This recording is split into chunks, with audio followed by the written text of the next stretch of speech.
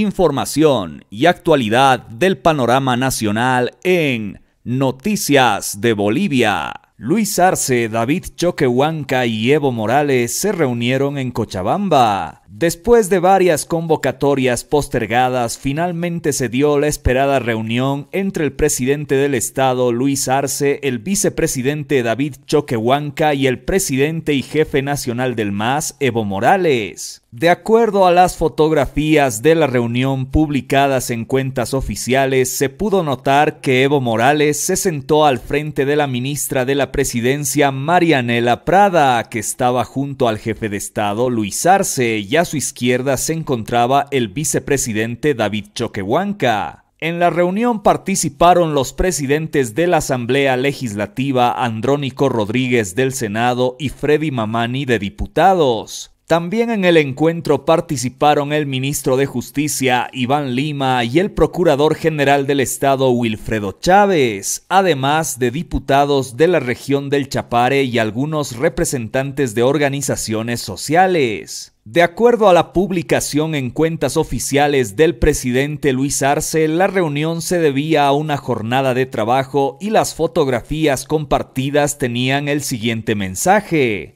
Hoy sostuvimos una jornada de trabajo conjunto con las hermanas y hermanos del órgano legislativo, organizaciones sociales y la dirección nacional de nuestro instrumento político más. Seguimos reconstruyendo la patria. El encuentro que fue catalogado como una reunión de coordinación tuvo diferentes reacciones. En Creemos, el senador Henry Montero indica que dicha reunión entre Luis Arce y Evo Morales se dio para lavar sus trapos sucios internamente, aunque también señala que Evo Morales realiza denuncias públicas contra el gobierno para debilitar la gestión de Luis Arce y lavar su imagen como escuchamos a continuación. Yo creo que estas cosas se deberían lavar los trapos sucios internamente, pero ¿qué objetivo tiene Evo Morales de hacerlo público?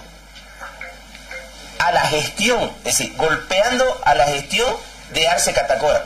Por supuesto, debilitarlo y nuevamente lavarse la imagen, recuperar su liderazgo y sobre todo seguramente buscando el golpe de Estado hacia Arce Catacora. No busca la unidad dentro del movimiento al socialismo, una percepción personal, pero sí lo que está estableciendo es debilitar más, los hechos lo manifiestan, debilitar más a Arce Catacora, abrir más esas heridas que puedan tener el movimiento al socialismo internamente y sobre todo el poder debilitar a, Arce Catacora. Pero manifestarle, al final, toda esta lucha interna, toda esta pelea, ¿quién la sufre?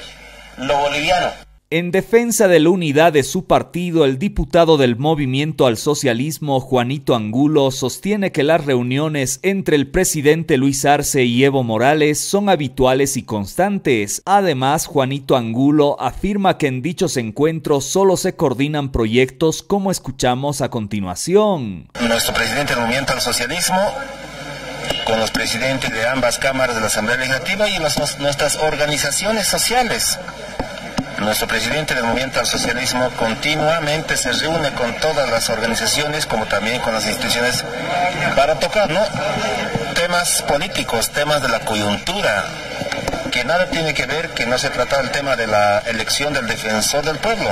Son temas coyunturales, temas políticos que usualmente como, como presidente del Movimiento al Socialismo hace las reuniones de manera continua y permanente con las eh, organizaciones sociales y por supuesto también con las instituciones, con nuestras autoridades, para seguir trabajando de manera coordinada, de manera planificada y fundamentalmente de manera unida para seguir eh, dando la certeza ante el pueblo boliviano. El Comité Cívico Pro Santa Cruz se pronunció también sobre la reunión del presidente Luis Arce y Evo Morales a través de su vicepresidente Fernando Larach, que cuestiona dicho encuentro y además asegura que en el movimiento al socialismo buscan limar asperezas ante los constantes pedidos de renovación como escuchamos a continuación.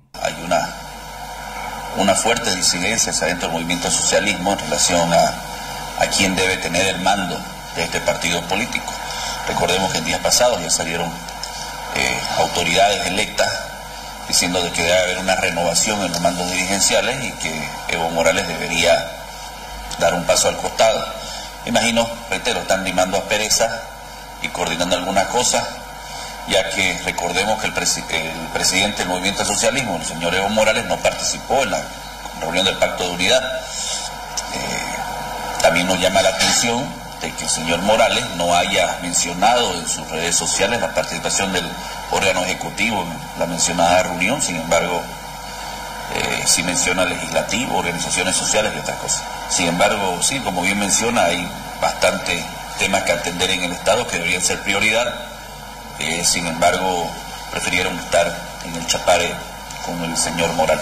Sí, pero los conflictos pues vienen de diferentes frentes, ¿no? Eh, tenemos a un diputado nacional eh, por Santa Cruz que ha pedido abiertamente el cambio del mando nacional, tenemos a, autoridades electas, como le decía, del interior del país, si mal no recuerdo La Paz o Cochabamba. Sobre la denuncia que hizo Evo Morales afirmando que existe una autoridad de gobierno que puso en marcha un plan denominado Operación Negra para atacar y desprestigiar al trópico cochabambino, el ministro de gobierno Eduardo del Castillo desconoce el hecho, pero a su vez se compromete a realizar una investigación eficiente y transparente como escuchamos a continuación. Vamos a tomar contacto con el expresidente, el señor Morales, como todos y cada uno de los delitos que se denuncian dentro del territorio nacional son investigados de manera eficiente y transparente por la policía boliviana. Evidentemente, en el pasado hemos tenido efectivos policiales que alejan su conducta de la normativa legal vigente y por tanto están recibiendo las sanciones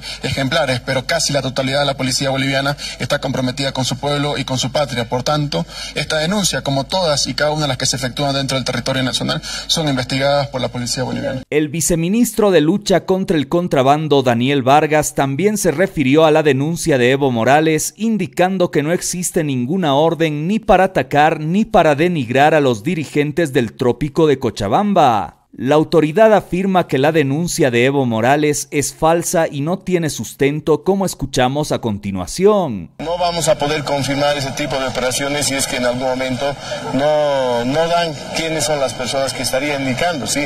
Mencionan a una institución del ejército que no creo que sea realmente confiable esa situación hasta que en algún momento no se presenten las pruebas. Solamente una denuncia formal. Teníamos que hacer una denuncia formal, no, no involucrar a una institución que realmente tiene otro tipo de actividades. Una escuela militar de inteligencia netamente académica. Académica donde se tratan también aspectos académicos. En ningún, en ningún momento vamos a ver que este instituto de formación eh, militar está haciendo este tipo de actividades. No, totalmente. Pues estamos hablando que es un instituto de formación profesional. Ellos se dedican pues a netamente actividades académicas, actividades donde se, se forman, se especializan también eh, miembros de las Fuerzas Armadas. Pero si realmente existiera una denuncia formal, así indicando quiénes son, porque dicen hay una autoridad militar del gobierno que estaría, no es totalmente pues eh, falso, sí. No vamos a poder responder a ese tipo de, comentarios, de información que no tienen la fuente establecida, sí. Hasta aquí con las principales informaciones de la jornada. Serás tu un próximo compacto con más noticias de Bolivia.